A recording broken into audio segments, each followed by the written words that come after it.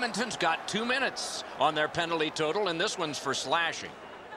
Edmonton penalty Edmonton's- to number 93. Oh, he put it in his own net. It Two minutes against slashing. him. Time of the penalties. Four minutes, 21 seconds.